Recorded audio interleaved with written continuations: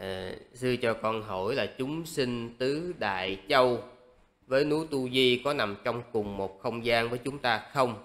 Vậy nếu các nhà khoa học phóng tàu vũ trụ đi tìm thì có tìm ra không thưa sư? À, thưa với quý vị những cái câu hỏi mà liên quan đến giới hạn của thế gian này thì đem hỏi đức thế tôn thì ngài cũng không có trả lời cái lý do là mình không có cái phương tiện để mà mình à, tìm hiểu về cái đó. Mà mình cứ một hai mình đòi biết á, thì nó chỉ dẫn đến cái chuyện là mình bị loạn trí thôi.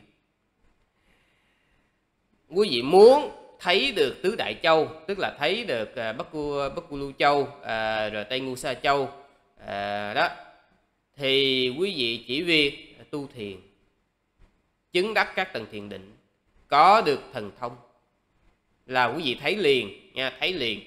À, hoặc là quý vị thấy được cái núi tu di liền. Còn á khi mà mình không đủ phước á thì mình tìm không thấy. Quý vị có lý giải nó nằm ở chiều không gian khác thì đó cũng là chuyện của quý vị.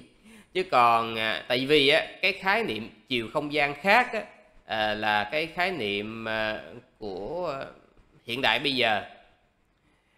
Tại vì ngay cả ở cái à, gọi là cái ờ, cái cổng mà đi tới ờ, cái xứ à, à, các cái loài Atula đó. Thì nó cũng trong kinh tạng thì có một cái đoạn đó là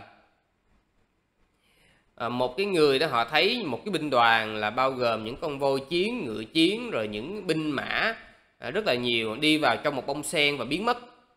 Thì vị này mới nghĩ là chắc ta bị điên rồi ta thấy ảo giác và đi đến gặp đức thế tôn. Đức thế tôn trả lời đó, đó là binh đoàn của ờ, chúa atula đánh nhau với vua trời đế thích bại trận và đi về.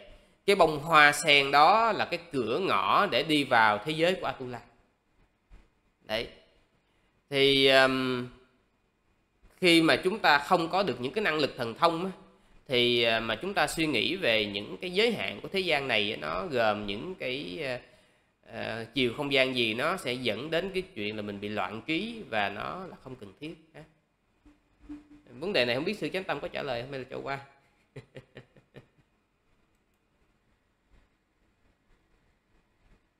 À, rồi thôi.